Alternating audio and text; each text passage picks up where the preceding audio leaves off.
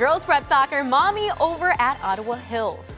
First half action, Maumee pushing it up the field. Kelsey Walborn comes up with the ball, lines it up.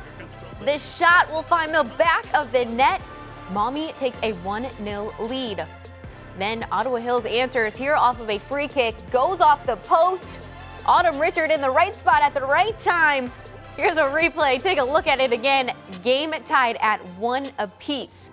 Then under a minute left in regulation, Maumee with a penalty kick. First shot blocked by Marissa Kodrovich, but Shia Keller there to clean it up. Maumee gets the win 2 to 1. Well, at the start of the week, we made it our goal to bring our record to 4 4 and 2. Uh, so coming into the week, we were with two wins, uh, four losses, and two ties. And so we thought this week was a really good opportunity to improve our record to 4 4 and 2. And uh, we got a win earlier in the week and got a win today. So it was, it was big for us and uh, good motivation going forward. Uh, it's big time. You know, we got a big win like we, we talked about, and we have Perrysburg waiting for us on Wednesday. So uh, it'll be a good challenge, and you know, playing that top competition certainly gets us prepared for games like this and, and going forward.